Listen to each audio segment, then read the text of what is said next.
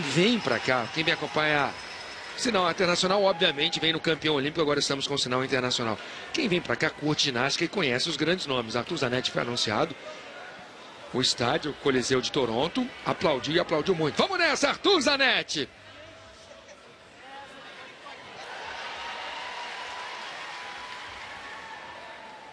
Vamos com o campeão olímpico Arthur Zanetti. Ele já vem colocando moral, né? Olha como é que ele marca as posições estáticas. Esse exercício é muito difícil que ele acabou de fazer agora. Ele tem o nome dele né, no elemento dessa prova.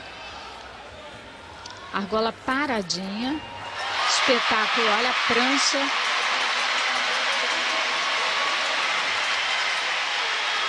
A malteza. Ele marca as posições estáticas mais tempo do que é necessário. O Cristo diferente. Ele marca o seu estilo, duplo mortal, parando no Cristo. O atleta vem girando com toda velocidade e tem que marcar aquela posição estática. Aí a dominação traseira, a parada de mãos. Saiu, tem duplo esticado cravado. Apresentação digna de campeão olímpico, de craque das argolas. Arthur Zanetti bem demais. Belíssima apresentação. E como você falou, André João, ele é diferente. Ele chega mostrando. Tivemos ótimas apresentações do Caio, do Lucas e do Francisco. Mas é muito sólido. Ele para nas posições, Arthur Zanetti. Olha, perfeito. Olha a perfeição, exatamente.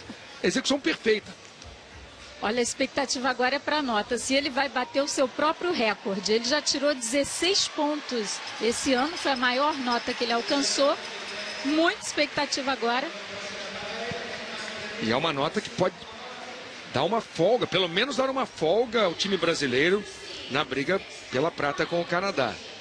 Bacana ver o Arthur Zanetti sorrindo desse jeito. Vamos com a nota do Arthur Zanetti.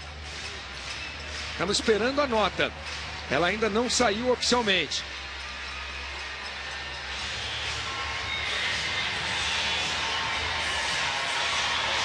Esse é craque demais. Arthur Zanetti, campeão olímpico ainda. Não temos a nota de Arthur Zanetti. Daqui a pouquinho, a sexta rotação.